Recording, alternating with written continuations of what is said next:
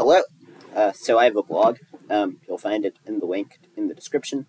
Uh, it's called Bentham's Bulldog. It's at benthams.substack.com.